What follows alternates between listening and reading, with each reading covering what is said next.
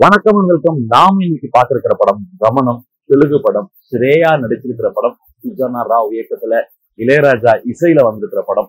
இந்த படம் ரொம்ப சிம்பிளுங்க ட்ரைலர்ல பார்த்துக்கோம் மூன்று கதைகள். ஆனா அது ஒரு இடத்துல சேருதானா? சேரல.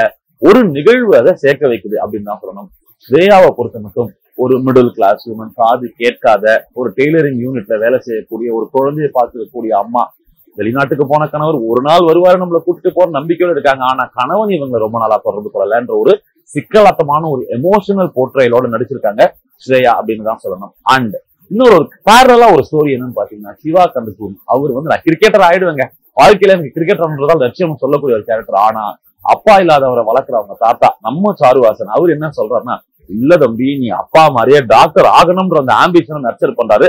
அவங்களுக்குள்ள இருக்கிற எமோஷனல் கான்ஃபிளிக் என்ன அப்படின்றது. அண்ட் மூணாவது நம்ம பார்த்துருப்போம் நம்ம காக்கா முட்டா ஸ்டைல்ல ஒரு கதையை அதுல கொண்டு வந்திருக்காங்க. அதாவது ரெண்டு ரேக் பிக்கர் கிட்ஸ் நாங்க எப்படியாவது சம்பாதிச்சு கேட்க வாங்கி பிராண்டா எங்க பஸ்ல போடணும்னு ஆசைப்படக்கூடிய ஒரு ரெண்டு குழந்தை. இந்த மூணு கதைகள் நான் சொல்லிட்டேன். இது ஒன்னா சேருமா அப்படின்னா நீங்க படத்துல தான் பார்க்கணும். அது ஒரு மிகப்பெரிய ஆச்சரியம் இருக்கு. பட் ஒரு இன்சிடென்ட் இதை ஒண்ணு சேர்க்குது. என்ன அப்படின்னா அபரிமிதமான மழை வெள்ளம். அன்னைக்கு இவங்க எல்லாம் என்ன பண்றாங்க? இந்த இண்டிவிஜுவல்ஸ் வாழ்க்கை எப்படி மாறுது என்னன்றதுதான் கதை.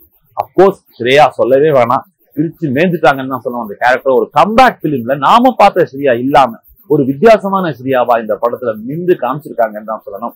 அந்த சிவா கம்பி கூறி ஒரு எமோஷனல் கான்ஃபிளிக்ல இருக்கிற ஒரு யங்ஸ்டர் நல்லா பண்ணிருக்காரு. பட் நான் ஓல்டு வார் ஆர்ஸா எனக்கு நடிக்க தெரியும். நான் திருப்பி திருப்பி பண்ணி காட்டணுமா? அப்படின்ற மாதிரி சாருவாசன் சட்டில் பர்ஃபார்மன்ஸ் ஒன்று கொடுத்துருக்காரு அப்படின்னு தான் சொல்லணும். அண்ட் இந்த படத்தோட மிகப்பெரிய ஹீரோ அப்படின்னா கண்ணு மூடிட்டு சொல்லலாம் ஞானசேகரோட கேமரா அப்படின்னு தான் சொல்லணும். ஸ்பெஷலி செகண்ட் ஹாஃப்ல அந்த கேமரா பயணப்படும் விதம் அது கேப்சர் பண்ணிக்கிற இடம்லாம் வேற லெவல் அப்படின்னு தான் சொல்லணும். அண்ட் இந்த மாதிரியான கதையா குருடா எனக்கு அது வெள்ளம் சாப்பிடுற மாதிரி அப்படின்னு இளையராஜாவோட பேக்ரவுண்ட் ஸ்கோர் இன்னும் எலிவேட் பண்ணது எமோஷன்ஸ் அப்படின்னு தான் சொல்லணும். ஓவரால் படம் வித்தியாசமான முயற்சி வித்தியாசமான அட்டம் ஒரு சந்தோஷமான படமாக இருந்தாலும் ஒரு சின்ன வருத்தம் என்ன அப்படின்னா தெலுங்கு சினிமா ஆடியன்ஸ் நாங்க விறுவிறுன்னு படம் பார்ப்போம்.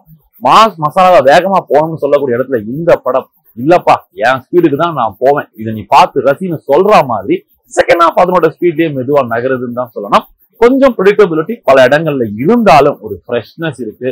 சொல்ல வந்த விஷயத்த நிதானமா அமைதியா சொல்லக்கூடிய வகையில இந்த படத்தை பண்ணிருக்கிறதுனால நிச்சயமா பார்த்து ரசிக்கலாம். கவனம் இன் அமேசான் பிரைம் இது போன்ற செய்திகளை மேலும் தெரிந்து கொள்ள எங்களது யூடியூப் ஃபேஸ்புக் மற்றும் ட்விட்டர் ஆப்களை சப்ஸ்கிரைப் செய்யவும்.